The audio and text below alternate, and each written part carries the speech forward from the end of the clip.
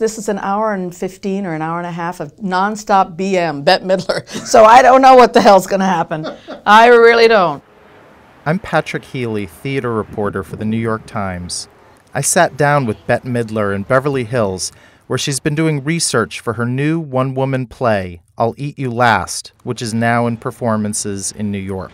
You're returning to Broadway. I am. In a straight play portraying a real life uh, Hollywood super No agent. band. How do, you some of your fans are going to miss you singing. Well, I do love musicians and I do love music and I do love my fans. But you know what? I'm a, a certain age and it's time for me to try something new. What she's trying is 80 minutes of monologue delivered almost entirely from a couch. It's her first role in a Broadway play since her debut some 40 years ago in Fiddler on the Roof. Now tell me that horrible flop Fiddler didn't sour you on Broadway. For I loved uh, being in Fiddler. I was in Fiddler for three years. What did sour me was that I couldn't get a job. I couldn't get another job. And I figured, well, if I can't get a job in an, someone else's play, I'll make my own work. And that's really basically what I did. I made my own work. In the 1970s, Midler earned a following performing alongside Barry Manilow at the Continental Baths, a gay bathhouse in New York. Say? Here, her singing and brassy personality took root. And in the coming decades, her performances would win her awards and two Oscar nominations. At first, Midler resisted doing Broadway again, seeing all kinds of risks in playing Sue Mengers, a woman who became one of the most powerful talent agents in 1970s Hollywood.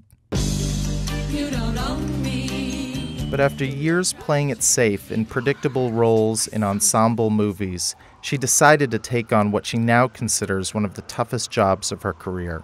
When you think about a project, what goes into that for you in terms of deciding whether to do something or not do something? How many people I'm going to have to meet?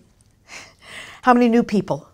Because new people are hard. A lot. A lot of new people, and it's like, oh, what are their names? They're going to be insulted. They're going to tweet on me if I don't remember their names. Mm. And I have a little trouble with my memory. You know, I'm like, I'm not like what I once was.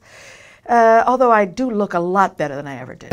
anyway, so um, you're playing um, Sue Mengers. I am. She repped Barbra Streisand and many other film stars. Gene Hackman, Ali MacGraw. A friend of hers called her a bulldog with charm, which I loved. You knew her a little bit. I did know her, and I did like her very much. One of the things I'm nervous about is that people who knew her will come and say, "Well, that's not Sue." Hmm. What's a, is there a story about Sue that's particularly tickled you, or an anecdote? Oh my God, so many of them, so many of them. She used to say about people who had passed away, they took a dirt nap. She was the queen of the one-liner, but she was also, you know, a big thief. Mm. And if she heard something good, she would just grab it and she would run with it and she would make it her own.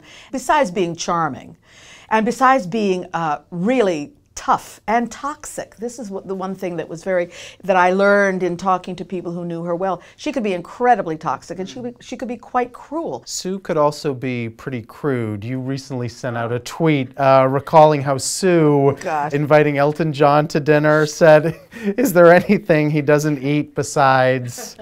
and Sue used a word for the female genitalia. Yes, she did. That, that was a little mild for Sue. Sue was a world class curser. I mean, she could, she just had a, there's no way to describe the way she talked. There just isn't. You and Sue share a certain public persona. You're both. We both swear. well, you're both known as great broads. Yeah, yeah. I hope that word is okay. I love that word. Eh, who, if anyone, is inheriting that mantle? Pink is a great broad. Sheryl Crow is a great broad. Adele is a great broad. None of them are quite the triple threats. What? You've got well, no, you're a great know? actress, great comedian, great singer. I mean, Thank you. Really I, I see you left out dancer. Oh, sorry. Okay.